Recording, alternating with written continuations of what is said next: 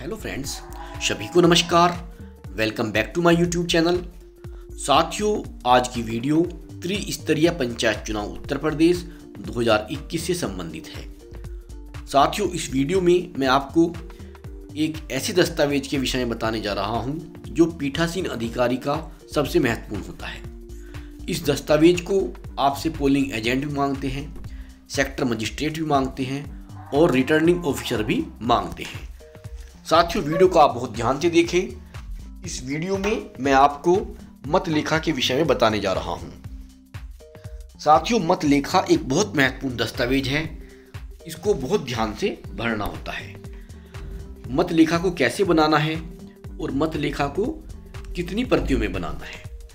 साथियों, जैसा कि आप सभी जानते हैं कि इस बार पंचायत चुनाव में चार पदों के लिए चुनाव होना है।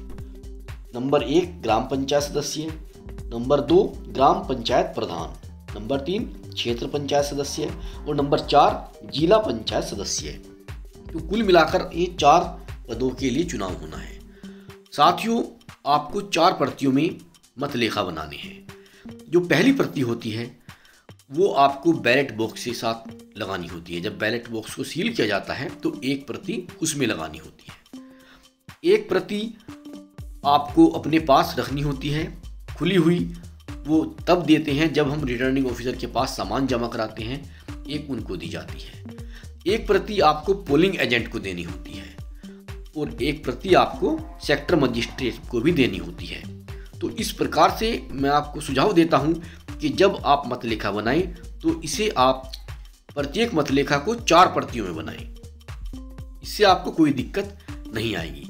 अगर आप पहले ही चार प्रतियों बनाकर लेकर जाएँगे तो सामान जमा करते समय आपको दिक्कत नहीं आएगी और आस, आपका सामान आसानी से जमा हो जाएगा। चलिए अब मैं आपको बताता हूँ कि किस तरह से मतलेखा बनाना है। साथियों सबसे पहले आपको क्या करना है जो आपको जब सामान मिलेगा चुनाव से एक दिन पहले आपको मतपत्र भी मिल जाएँगे। तो आपको एक कोरे कागज़ पर लिख लेना है कि ग्राम प्रधान पद के लिए आपको कितने मतलेखा मिले मतपत्र मिले हैं। मैंने यहाँ पर उदाहरण स्वरूप लिखा है कि एक से लेकर 800 तक की हमें मतपत्र प्राप्त हुए ग्राम प्रधान पद के लिए। और सदस्य ग्राम प्रधान के लिए दो वार्ड का हमें मिले। मान लीजिए दो वार्ड का हमें मिलता है मतपत्र, वार्ड एक में एक से लेकर 450 तक और वार्ड दो में चार सौ इक्यावन से 800 तक। तो इस संख्या को हम एक कागज़ पर नोट कर लेंगे। इसी प्रकार से सदस्य क्षेत्र पंचायत, वार्ड एक में आपको 100 से 550 तक मिले और वार्ड दो में पाँच सौ इक्यावन से 900 तक। इस प्रकार से 350 हुए। तो इस तरह इस संख्या को आपको एक कोरे कागज़ पर नोट कर लेना है। इसी प्रकार से सदस्य जिला पंचायत के लिए, मान लीजिए तीन सौ से ग्यारह सौ तक मिले, कुल मिलाकर आठ सौ हैं। तो अगर आप इस प्रकार से एक कागज़ पर पहले ही नोट करके रखेंगे तो आपको कोई दिक्कत पूरे चुनाव में नहीं आएगी। ये काम आपको तुरंत कर लेना है, जिस दिन आपको सामान मिलेगा, चुनाव से एक दिन पहले। ये आपको गोसवारा बनाना है, उसमें आपको लिख लेना है। अब हम देखते हैं कि हम मतपत्र को कैसे बनाएँ, कैसे उसको भरना है। चलिए हम पहले बात करते हैं ग्राम पंचायत सदस्य पद हेतु। साथियों, मैंने यहाँ पर ये फॉर एग्ज़ाम्पल भर लिया है। मान लीजिए कोई ग्राम पंचायत है जिसका नाम है फहीमपुर, और ये हम जो मत लेखा बना रहे हैं, वो ग्राम पंचायत सदस्य पद के लिए बना रहे हैं। वार्ड एक और दो। तो हम इसमें डाल देंगे जो भी हमारा निर्वाचन क्षेत्र क्रमांक होगा, और मतदेय स्थल का क्रमांक में नाम डाल देंगे। ये मैंने फॉर एग्ज़ाम्पल लिया है। सबसे पहला जो इसमें कॉलम है, मतदान स्थल के पीठासीन अधिकारी द्वारा प्राप्त मतपत्रों की संख्या।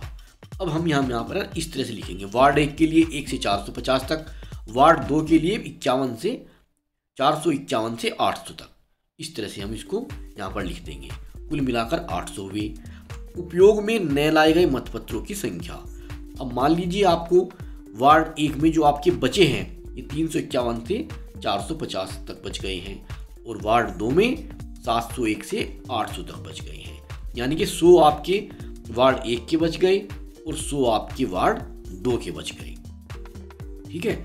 तो अब आपको क्या करना है? कुल मिलाकर ये जो नहीं उपयोग में दो सौ हुए हैं। अब आपको यहाँ प्रयोग में मतपत्रों की संख्या लिखनी जो प्रयोग में लाए गए। साथ ही यहाँ पर मैं लिखना भूल गया हूँ, यहाँ पर 600 आएगा। क्योंकि 200 बच गए हैं, कुल मिलाकर 800 थे तो प्रयोग में लाए गए मतपत्रों की संख्या हो जाएगी 600 यहाँ पर आपको 600 लिखना है। कॉलम नंबर तीन में। यहाँ क्रमांक तीन पड़ा है। प्रयोग में लाए गए मतपत्रों की संख्या एक माइनस दो तो आठ सौ माइनस दो सौ बराबर यहाँ छह सौ आ जाएगा। अच्छा अब देखते हैं मतदान स्थल पर उपयोग में लाए गए, किंतु मत पेटी में नहीं डाले गए मतपत्रों की संख्या। पहला है ऑप्शन रद्द किए गए मतपत्रों की संख्या व क्रमांक। साथियों, आपकी कोशिश रहनी चाहिए कि कोई भी मतपत्र रद्द न हो। ये नील ही जाता है, ये आपको नील लिख देना है। इसके बाद आता है निवेदित मतपत्रों की संख्या व क्रमांक। साथियों, आपको कोशिश करनी है कि जो निवेदित मतपत्र होते हैं, ये भी नील ही जाए। इनकी कोई संख्या आपको न लिखनी पड़े। साथियों, निवेदित मतपत्र वे होते हैं, मान लीजिए कोई व्यक्ति आपके पास वोट डालने के लिए आता है। यदि कोई व्यक्ति स्वयं को मतदाता बताते हुए मतपत्र की मांग करे तथा मतदाता सूची में जब आप उसका नाम देखें, तब आप देखें कि भाई इसकी वोट तो पड़ चुकी है पहले ही, कोई डाल चुका है, तब पीठासीन अधिकारी को उसको जाँच करनी चाहिए कि वो संतुष्ट होना चाहिए कि वास्तव में वो सही मतदाता है और कोई गलत आदमी इसकी वोट पहले डालकर चला गया। तो ऐसा व्यक्ति साथियों, मतपत्र प्राप्त करने का हकदार होता है। परंतु उसका मतपत्र मतपेटी में नहीं डाला जाएगा। यह आपको ध्यान रखना है। ऐसे ही मतपत्र को निवेदित मतपत्र कहते हैं। इस प्रकार का जो वोट डलेगा, आप उसको दे देंगे मतपत्र, वो वोट भी डालेगा, लेकिन वो आपको अलग रखना है। वो पीठासीन अधिकारी को सौंपा जाएगा और ऐसे मतपत्रों के लिए एक अलग लिफाफा बनता है। ठीक है साथियों? लेकिन आपको कोशिश करने की ऐसी नौबत ना आए, ये नील चला जाएगा तो ज़्यादा बेहतर है। ग, अब आता है इसका ऑप्शन नंबर ग। मुद्रण लेखन की त्रुटि के कारण रद्द किए गए मतपत्रों की संख्या व क्रमांक। साथियों, ये भी आपको नील ही करना है। नहीं तो इसमें आपको काम बढ़ जाएगा। मुद्रण लेखन की त्रुटि का मतलब यह है कोई मिसप्रिंट तो नहीं है। कहीं चुनावों का चिन्ह तो गलत नहीं लगा हुआ है। तो आपको इस प्रकार के का काम एक दिन पहले करना है। जब आपको मतपत्र मिलेंगे तो आपको सारे चेक करने हैं। सभी चेक करने हैं कि कोई मिसप्रिंट तो नहीं है। कोई फटा हुआ तो नहीं है। इस तरह का अगर हो तो वो आप तुरंत वापस कर दें और नया ले लें। तो ये नील जाता है। तो क, ख, ग का शून्य हो जाएगा। नील कर देंगे इसको। मत पेटी में डाले गए मतपत्रों की संख्या 600 स्थान आ जाएगा फहीमपुर। उन्नीस चार दो हज़ार इक्कीस। अपना नाम डाल देंगे। पीठासीन अधिकारी का नाम। पार्टी संख्या डाल देंगे। इस प्रकार से भरते हैं मतपत्र लेखा। ये हुआ ग्राम पंचायत सदस्य पद के लिए। चलिए अब आगे देखते हैं। अब आता है ग्राम प्रधान पद के लिए। ग्राम पंचायत फहीमपुर हो गई। तीन सौ अस्सी क्रमांक हुआ है जिनवासन क्षेत्र का। यहाँ पर आप मस्जिद इस तरह का नाम डाल देंगे। साथियों, इसमें वार्ड नहीं होता है। कोई भी जब हम प्रधान पद के लिए बात करते हैं तो इसमें कोई वार्ड नहीं होता। पूरे गाँव की वोट पड़ती है। अब इसमें मान लीजिए आपको एक से लेकर 800 तक के मतपत्र प्राप्त हुए तो आप कुल संख्या आपकी 800 हो जाएगी। और मान लो आपके एक से लेकर 600 तक के यूज़ हो गए। जो बचे कितने? 601 से 800 तक। ये आपको नंबर दो में लिख देने हैं कि हमारे 601 से 800 तक के बच गए हैं, कुल संख्या 200 हुई और जो प्रयोग में लाए हैं, वो आपने 600 है। अब आता है मतदान स्थल पर उपयोग में लाए गए, किंतु मत पेटी में नहीं डाले गए मतपत्रों की संख्या। ये मैंने आपको बता ही दिया, ये नील जाएँगे, आपको क खगा नील कर देना है। इनका टोटल शून्य आ जाएगा और मत पेटी में डाले गए मतपत्रों की संख्या हो जाएगी 600 नीचे स्थान डाल देंगे और तारीख डाल देंगे। अब ठीक इसी प्रकार से बारी आती है सदस्य क्षेत्र पंचायत पद के लिए। मान लीजिए आपको दो वार्ड का मिला। आपको दो वार्ड के मतपत्र मिले दिए गए वार्ड एक और वार्ड दो की। मैं आपको एग्ज़ाम्पल बता रहा हूँ, ज़रूरी नहीं, क्या पता आपको एक ही वार्ड का मिले। ऐसा होता नहीं है वैसे, एक ही वार्ड का मिलता है। लेकिन मैं फॉर एग्ज़ाम्पल आपको बता रहा हूँ कि मान लीजिए वार्ड एक और वार्ड दो का मिले हैं आपको मतपत्र। तो आप इस तरह डिटेल भरेंगे ऊपर। मतदान स्थल के पीठासीन अधिकारी द्वारा प्राप्त मतपत्रों की संख्या। मान लो वार्ड एक के लिए आपको 100 से 550 तक मिले। वार्ड दो के लिए पाँच सौ इक्यावन से 900 तक मिले। कुल मिलाकर मिले आपको 800 अब मान लो आपको जो बच गए हैं, वो चार सौ इक्यावन से पाँच सौ पचास तक बचे और वार्ड दो में आठ सौ एक से नौ सौ तक बचे। तो कुल मिलाकर दो सौ हो गए, जो बचे हुए मतपत्र हैं, और यूज़ हुए छः सौ। इस तरह से छः सौ लिख देंगे। और नीचे गया मतदान स्थल पर उपयोग में लाए गए, किंतु मत पेटी में नहीं डाले गए मतपत्रों की संख्या। ये का ख ग आपको नील कर देना है और कुल मिलाकर ये शून्य हो जाएगा। मत पेटी में डाले गए मतपत्रों की संख्या हो जाएगी 600 स्थान डाल देंगे, तारीख अपना साइन करेंगे, पार्टी नंबर डाल देंगे। अब बारी आती है जिला पंचायत पद हेतु।